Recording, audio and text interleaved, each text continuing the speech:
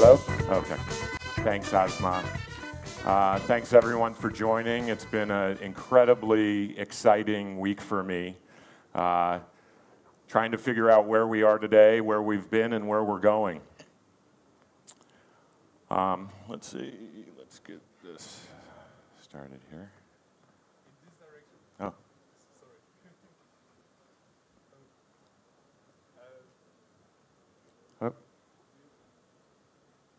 No, no. Okay. So, my wife's family has a favorite expression. They grew up in a small town in the Italian Alps.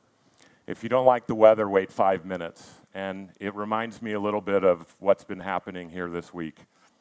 Over the course of the week, we've learned about different terminology that's been used to describe what today we're referring to as the sharing economy.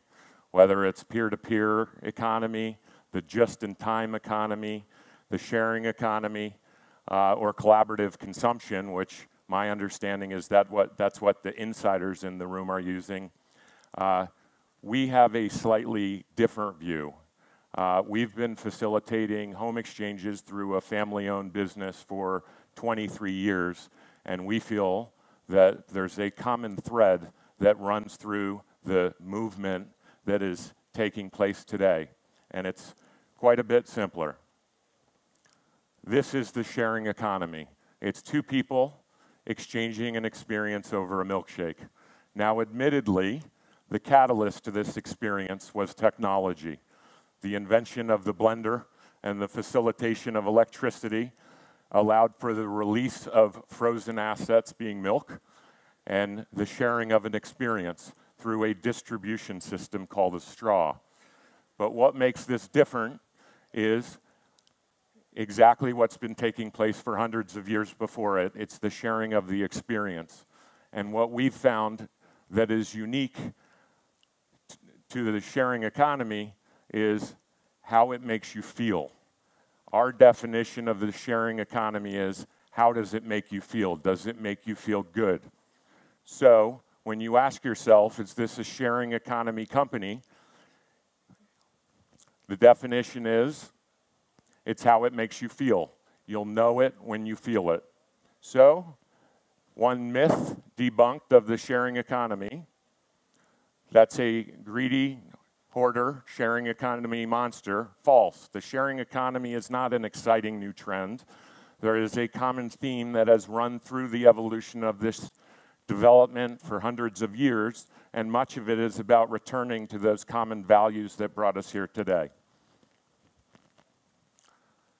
Second myth that often is asked in the context of the sharing economy is are we just building another technology bundle, uh, a bubble, excuse me?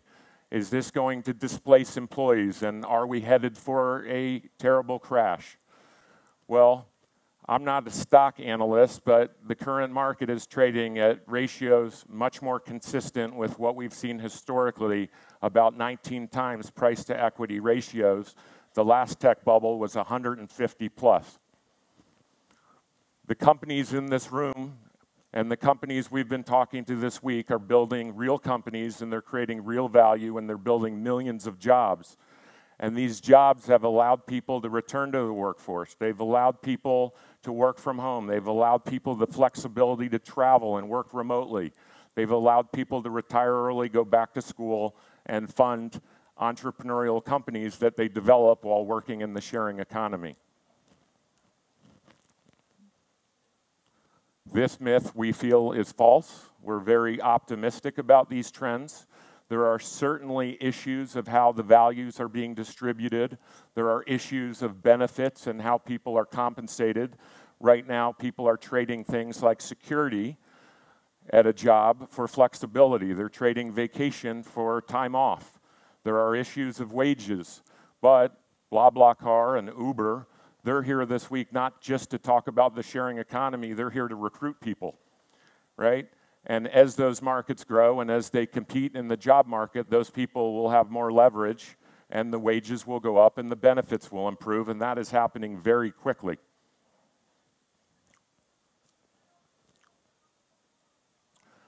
The sharing economy creates bad behavior. It perpetuates free riders. Free riders is an economic term. It means someone who is a taker. So imagine the dinner you plan with a group of your friends and you bring everyone out and they order the most expensive thing on the menu, knowing that you're going to split the bill evenly. Isn't that the type of behavior perpetuated by the sharing economy? In 23 years and over a million exchanges, we've seen exactly the opposite. I'll ask everyone in this room how many times have you returned a rental car to an agency, maybe your favorite agency, and you approached the desk and said, I'm really sorry, the car's dirty. I'd like to compensate you for that. How many times have you brought it to get it washed before you return it? If I lent you my car keys today and said, please take my car, drive my car, it's, it's idle this weekend, and you ran through a mud puddle and you returned me the keys, whether or not you'd say something to me, it's very likely your behavior would be influenced. You'd probably bring it to be washed beforehand. You'd disclose it to me, and you'd offer compensation, however that plays out. In our experience, one of my biggest surprises in exchanging homes is the hospitality and generosity that is facilitated by the human experience.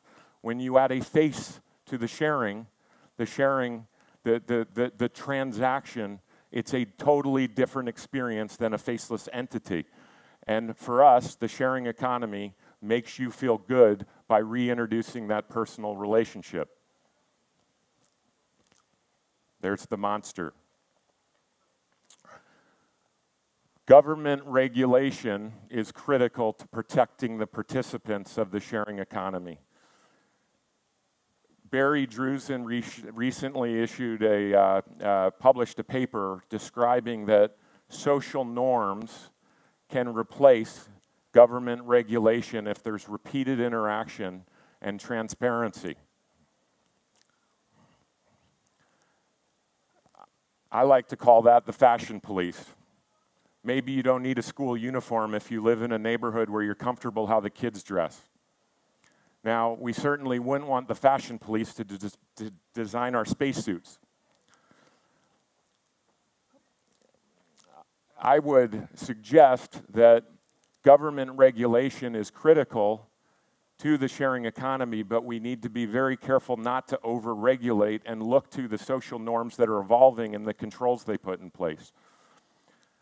There are review processes, there are ways to authenticate, there are interactions that self-regulate, and in many cases, government regulation is not needed. We have not been regulated for 23 years, and we've had very minimal experiences.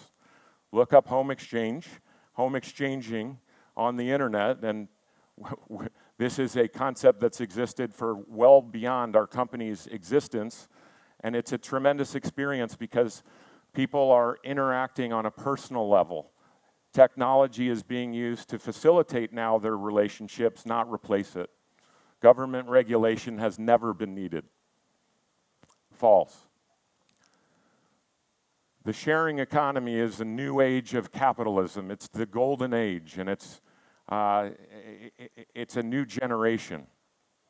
Well, a lot of people ask me, the sharing economy, that seems like an oxymoron. What is the sharing economy? Sharing is not economical, right?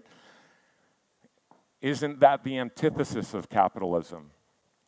Well, most capitalists, if you ask them, would you like to maximize and optimize the utilization of your assets? My grandfather used to lock his tools, and his grandchildren and our neighbors needed to sign a library card to check out those tools. To him, that was his way of viewing capitalism. When my grandfather passed away, the Goodwill Society was very happy to pick up a brand new set of tools that had no rust on them. Earlier this week, someone named uh, Jeremy Heimans spoke about the shift from hoarding currency as an asset to viewing our relationship with our assets as a flowing river that can be channeled. The way we see this is these are traditional values that we've always had. the way we interacted with our community, the way we interacted with our assets, it made us feel good to share. And the technology that's being introduced today, our feeling is over time, it is not a replacement of this human inter- interaction. There's an opportunity to use it to facilitate the human interaction. And whether or not any company fits within the definition of the sharing economy, it's really easy for us to participate in what they offer. How does it make you feel? Does it make you feel good? That's it. Thank you very much.